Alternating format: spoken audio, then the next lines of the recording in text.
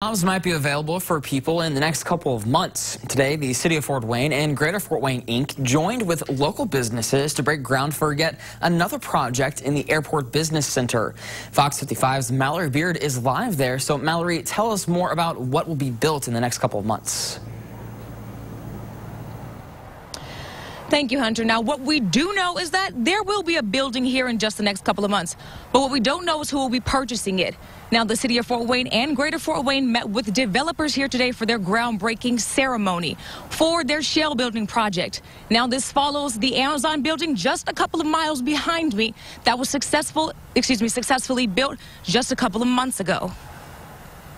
The lot may seem empty now, but Hagerman project executive Chris Moore says a building could be in its place soon. Put a building in place with uh, really no tenant or end user uh, involved yet. So the idea is that you go ahead and build the building and then you attract the business.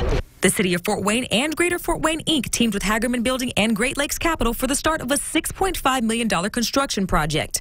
Moore says the benefit of the program is that the building will already be constructed by the time a business wants to purchase it for use. Day one, go ahead and get their improvements they need, whatever facilities they need on the inside. Uh, it really increases their time from when they decide to pull the trigger on the project to when they can be operational. This project is among other collaborations in the Airport Business Center. Just three months ago, Amazon established its first distribution center in Fort Wayne.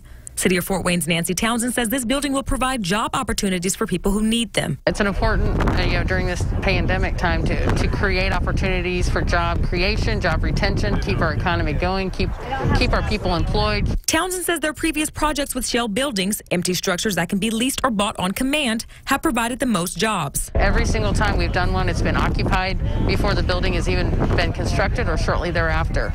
Um, thousands of jobs have been created. Some have additional jobs have been retained um, and we're just very pleased to be able to have partners uh, in a relationship to continue doing this, particularly during these the, during this pandemic.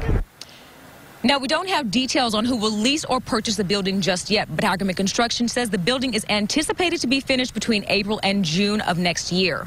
Reporting live in Fort Wayne, I'm Mallory Beard, Fox 55 News.